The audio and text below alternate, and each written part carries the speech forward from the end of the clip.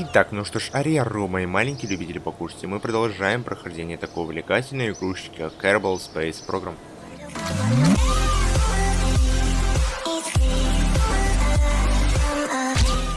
Я напомню вам, что мы остановились на прохождении, где мы не смогли, к сожалению, выполнить, и я не смог выполнить миссию по сближению двух космических аппаратов на орбите Кербина.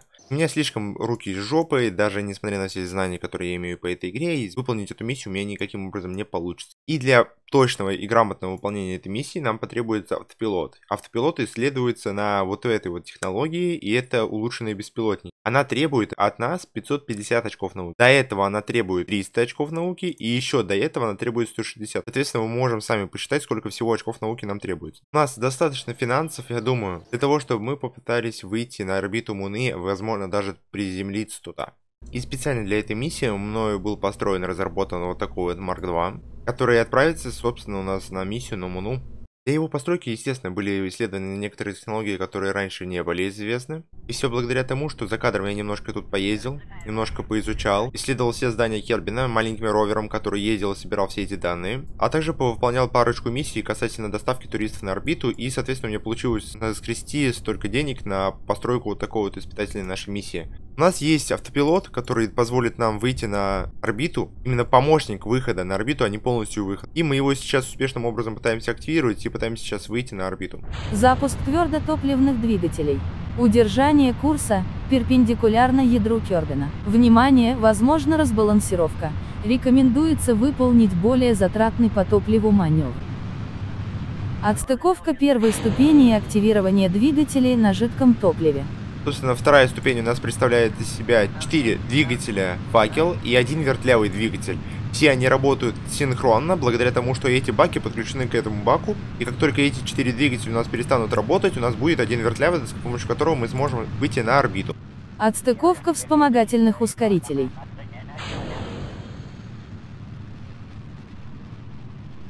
И наш перигелий составляет теперь 70 тысяч метров над уровнем Кервина. Это значит то, что мы с вами вышли на первую космическую скорость и вращаемся вокруг нашего Кервина. У нас сейчас полностью пилотирование под нашим Кервином. У нас нету достаточной линии снабжения связи, потому что недостаточно науки у нас на изучение всего и вся. И сейчас мы будем с вами пытаться совершить маневр, который выведет нас на сближение с Луной. Попробую сделать это я с помощью нашего планировщика маневров.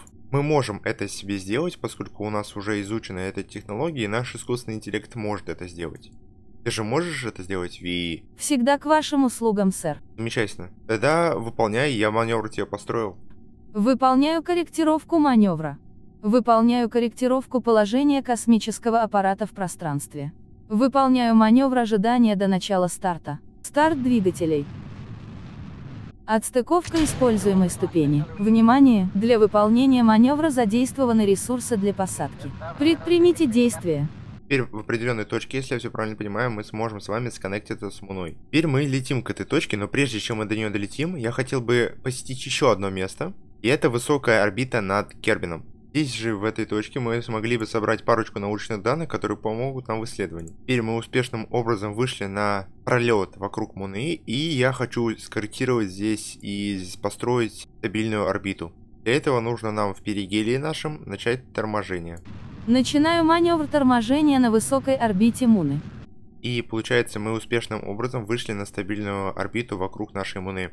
А значит то, что сейчас мы можем с вами собирать научные данные. Нашим ученым естественным образом приходится выходить в открытый космос для того, чтобы восстанавливать все материалы, которые были использованы во время проведения экспериментов. Сейчас мы будем с вами пытаться как-то сесть без автопилота, полностью на энтузиазме и полностью с импровизацией. Для начала попытаемся в перигелии выполнить остановку нашего космического аппарата до минимальной примерно орбиты. Примерно 110 тысяч метров хватит. 98 тысяч метров орбита была достигнута.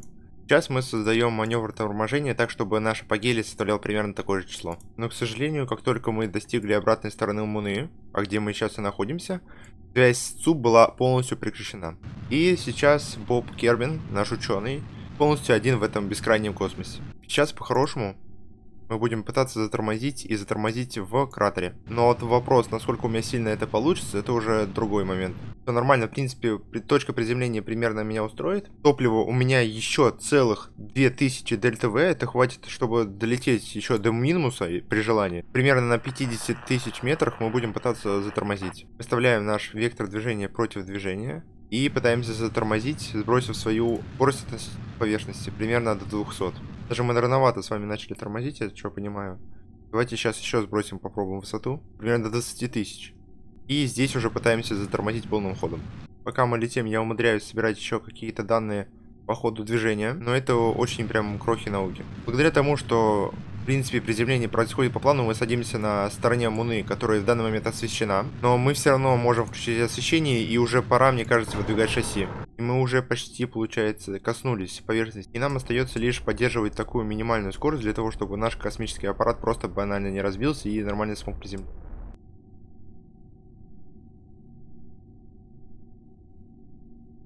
И, конечно, не без косяков, но наше приземление на Мону произошло успешно. Абсолютно нет никакой связи, и ЦУП сейчас, конечно же, беспокоится о нашем Бобе, но ничего страшного, мы... Связи нет, но голоса есть. Ладно. Видимо, так должно быть. Мы выпускаем нашу лестницу. И это гигантский шаг в изучении нашей науки и гигантский шаг для всего кирболечества. Сейчас же я хочу первым делом установить здесь флаг. И теперь я хочу взять немножко образцов грунта и также доложить об обстановке. Замечательно, мы сделали все, что могли в этом кратере. Сейчас же мы воспользуемся немножко нашим реактивным ранцем и попробуем восстановить данные всех наших технологий. Ведь я пока летел, пытался тоже собирать и, соответственно, немного исследовательские материалы были повреждены. И теперь мы проводим все необходимые исследования. Проведя все исследования и собрав все данные, мы снова восстанавливаем все наши научные модули. И смотрим сейчас по состоянию нашего корабля. У нас даже слишком еще достаточное количество окислителей и жидкого топлива для разного рода маневров. По количеству еды, воды и кислорода у нас целых еще 42 дня, что является очень даже слишком большим числом, пожалуй. И я бы хотел, если у нас так много еще ресурсов осталось после этой миссии, я бы хотел выйти из этого биома, конкретно этот кратер является отдельным биомом, и посетить какой-нибудь другой, возможно, кратер, а возможно, просто поверхность Луны, для того, чтобы собрать и повторить все те же научные данные. Для этого мы убираем нашу лестницу, пытаемся выйти, допустим, сейчас будем лететь вправо, достигнем небольшой такой высоты и снова будем пытаться приземлиться. Мы достигли желаемого апогелия, и наша траектория представляет из себя нечто такое. И примерно место приземления будут рассчитываться вот здесь, я думаю. Мы пытаемся сохраниться и, соответственно, приземлиться вот в другом нашем биоме. Начинаю маневр торможения. Потеря стабильности аппарата из-за неровного грунта. Да, нормально приземлиться это не мое, видимо. И пытаемся как-то сохранить данные научные, исходя из данного положения нашего. Все, что могли собрать, мы собрали. И пытаемся как-то выйти из этого положения очень тупым способом.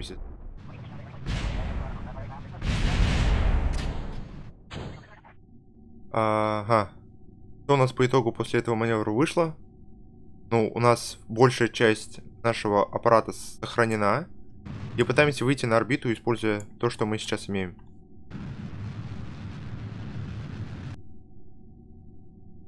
Мы вышли на орбиту вокруг Муны, но очень нестабильную, и у нас осталось всего 250 ДТВ. Хватит ли мне этого? Я не знаю. Выйдет ли у меня что-то из этого? Я тоже не знаю. Но я знаю то, что есть возможность, есть вероятность того, что мы все-таки попадем на Кербин обратно. Мы вышли на какую-то примерную орбиту вокруг Кербина, и сейчас будем пытаться по гелии все-таки затормозить. Главное, мы вышли с вами из зоны влияния Муны. У меня понял то, что тот маневр было делать вообще не обязательно, и вообще его не нужно было делать, и зря я его вообще сделал. Потому что раз с десятой только попытки у меня вышло все-таки выйти на орбиту таким образом, что перигелий составил 12 тысяч метров. Но в следующий раз зато мы будем гораздо умнее. Мы сейчас продолжаем лететь, в надежде на то, что у нас что-нибудь да получится.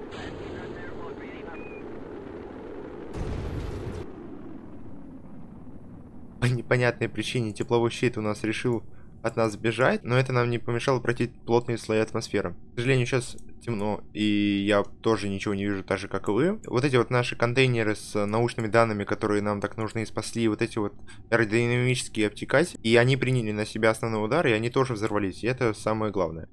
А также у нас открылись первые наши спасательные парашюты, которые служат для того, чтобы сбить большую скорость нашего движения. И сейчас примерно при достижении 5000 метров я буду открывать вторую группу парашютов для торможения. Наш полет составил целых 4 дня, практически ровно.